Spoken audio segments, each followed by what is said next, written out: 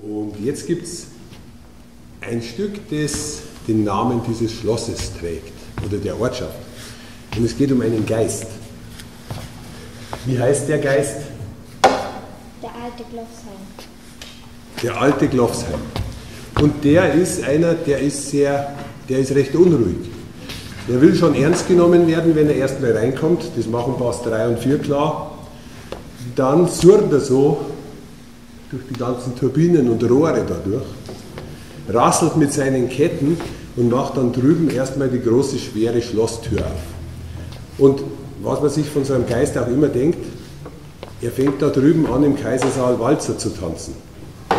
Irgendwann wird ihm das aber zu, zu eintönig und dann schießt er wieder rüber, rennt wieder durch die Turbinen, geht nochmal zum Walzer tanzen, um dann später die Türe des Schlosses wieder zu schließen und durch den Kamin abzuhauen. Also der alte Lofsheim.